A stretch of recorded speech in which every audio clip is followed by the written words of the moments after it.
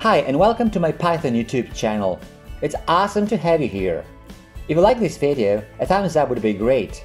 And make sure to subscribe for future videos. I also have a blog at prosperocoder.com with lots of cool stuff, so feel free to check it out.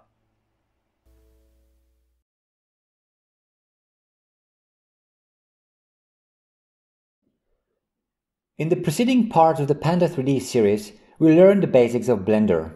It's time to apply our knowledge and create our first actual asset we're gonna use in the game. As there are going to be more and more files, it's advisable to organize them in one way or another. Let's create a file hierarchy for our project inside the project folder. We're gonna stick to Panda 3D terminology, where the term models is used for static objects and actors for characters. In Blender, everything you create is a model, so I may be using the term actor and model interchangeably in Blender context from time to time, but it shouldn't be a problem. So let's create two folders in our project folder, models and actors. Here we are in our project folder, so let's create a models folder and an actors folder. From now on, we'll be putting all our models and actors in these two folders. We'll be creating a separate folder for each model and actor and then, for simplicity's sake, we'll be putting all the files associated with that model or actor directly into it. So the blend file, the texture files, and also the GLTF files we can use in Panda 3D. And now, let's get to work. It's modeling time. So let's build the building. Here we go. Follow the steps. First, open Blender. Now you can see a default cube out of the box. Now go to the File menu, Save As. Now browse for your project folder. Now Models and here save this file as building dot blend. Fine. So our project is already saved. Now actually we could use this default cube but it already has a default material and I want to show you how to add materials in the next lecture. So delete the cube by hitting X and delete. And now let's add a new one. So Shift A, Mesh, Cube. This one doesn't have a material. Now let's rename this object Building in the outliner. So double click and type Building. Good. Now let's switch to edit mode, so tab and face select mode over here. Let's deselect all, Alt A. Now let's go to wireframe. This is this button over here. This way you can see through the model. And now let's orbit a bit and select the two faces through which the x-axis passes. This is the red one. So this face and hold down shift this face. Now let's inset the faces. To insert a face, you can use the I shortcut. And we want the thickness to be 0.25. So you can set the thickness by hitting I to insert. We're now insetting. And then immediately 0.25. Enter. You should get something like this. Now we want to extrude the two selected faces. However, if we try to do it now, they will both be extruded in one direction. So first we have to change the pivot point. By default, the pivot point, which is over here, is set to median point. But this won't work for us. Let's change it to individual origins. And then each face will be extruded independently of the others. And now we can extrude. With the two faces selected, extrude them 0.25 units so that they protrude from the cube. To do that, just hit E 0.25, enter. Good. Now insert the faces again. This time the thickness should be 0.5. So I 0.5, enter. And now extrude these two faces again, this time 3 units. So E3, enter. Now let's add a horizontal loop cut that goes around the whole object. To do that, just hit Ctrl R and hover your mouse over one of the vertical edges, like this. Good. Now when you see the yellow edge loop, just hit Enter twice to confirm the addition of the loop and its central position. So this should look like so. Now go to vertex select mode, front view. To go to front view, you can hit 1 on your numpad, but on your numpad, not on your main part of the keyboard, on your numpad, 1. Now you are in front orthographic view. Now let's deselect all. So Alt A, and let's border select the vertices in the lower part of the mesh. So you can just drag your mouse over here, like this. Now, delete the selected vertices. To delete the vertices, just hit X and select Vertices. Your mesh should now look like so.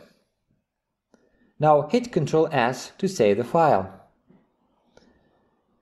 Now orbit the scene, so press your middle mouse button and drag until you can see the bottom part of the model. Now switch to Edge Select mode here and select the edge loop at the bottom. To do that, hold down Alt and click on one of the bottom edges. So Alt and maybe this one here. This selects the whole loop. Now extrude the selected edges 2 units down along the z-axis. To do it, just hit E, Z, negative 2, enter. Negative because we want to extrude down. Okay, it starts looking like a building, doesn't it? Now we don't need the faces at the bottom here because we won't see this part of the building at all. It will just stand on the ground. Now our model is going to become a building, so let's go to front view, one on a numpad, and let's add some loop cuts to model the windows. First, let's add 10 horizontal loop cuts. To do that, hit Ctrl R, then hover your mouse until you see one horizontal loop cut and type in 10 from your keyboard and then hit enter twice to confirm the loop cuts and their position. Now, in a similar way, add five vertical loop cuts in the central part of the building. So, Control R, this is the central part of the building, so we have to hover over one of the horizontal edges and type 5. Enter, enter. Good. Now we have quite a lot of edges here.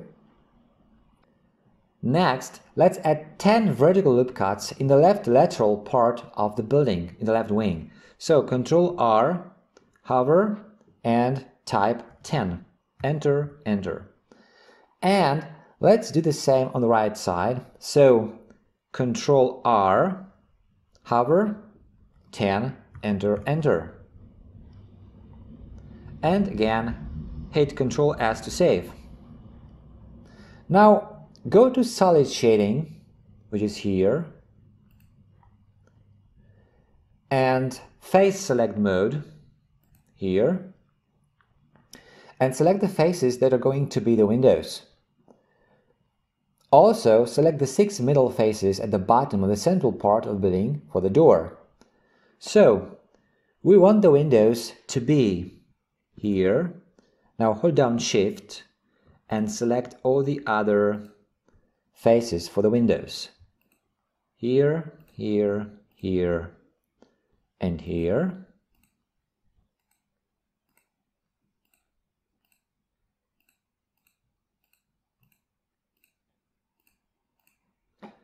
Now on this side the same, still holding down shift.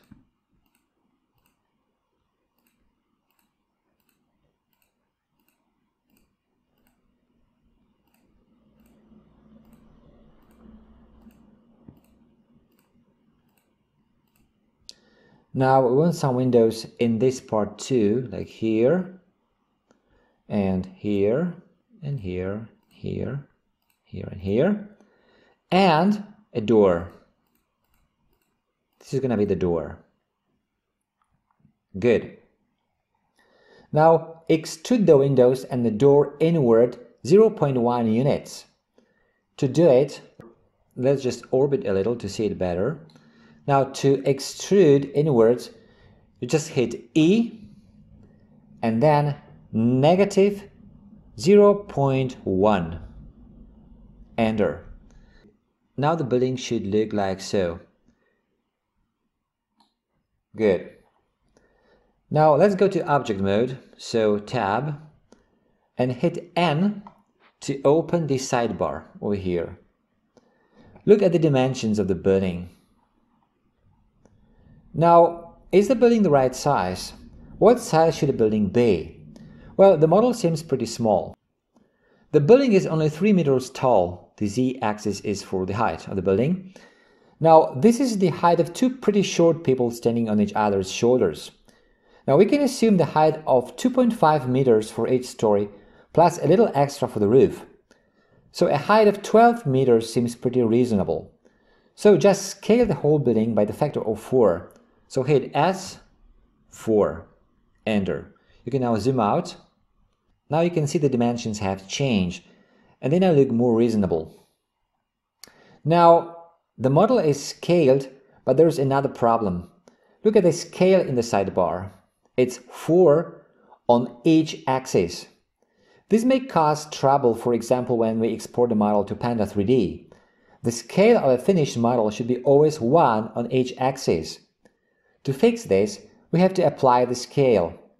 In order to do that, go to the Object menu and under Apply, select Scale. Now, the scale is 1 on each axis, just like it should be. You can now hit N again to close the sidebar. Now, there is one more thing to do before we can call it a day. It's about the origin of the model geometry. If you look at the model, you will see a yellow dot over here, this yellow dot. Here it is under the 3D cursor, but it doesn't have to. Now anyway, this is the origin of geometry. If you then append the building model in another file, it will be appended at the location of the 3D cursor in that file. But what does it actually mean? It means the origin point will be at that location. As you can see, the origin is somewhere near the roof. So if we appended the model to a scene with a terrain, most of the building would be below the terrain. Also, if you tried to rotate or scale the model, it would always be relative to the origin point. In our case, it would be more convenient to move the origin point to the bottom of the model. To do so, with the building selected, switch to Edit mode, so Tab, now make sure you're in front view, so hit 1 on your numpad and select all, so A. Then move everything up until the origin point, which doesn't move along, is at the bottom. You can hold down Control while moving the model to enable snapping. So hit G, Z, now hold down Control and drag up. Fine. Left click. Now the origin point is at the bottom of the building. When done, you can switch back to object mode and you can still see the origin point at the bottom. Save the file, so Control S. And that's it for this part. In the next part, we'll add materials to our building model. Okay, that's it for this video. If you like it, a thumbs up would be great. Also, make sure to subscribe for future videos. If you want to leave a comment or ask a question, you're welcome to do so. Thanks for watching.